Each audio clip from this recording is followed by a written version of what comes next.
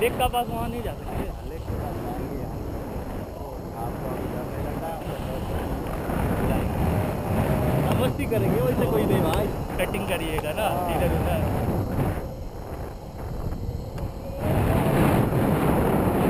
डर के आगे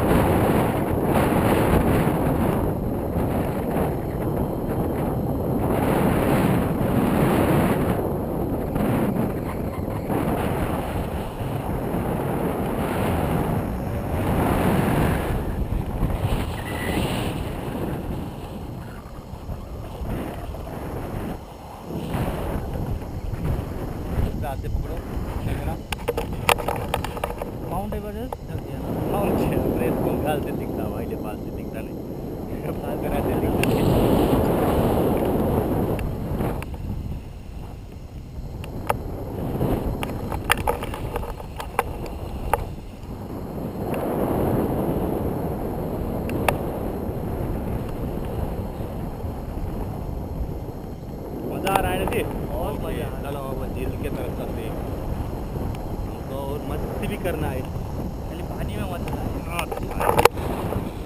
लास्ट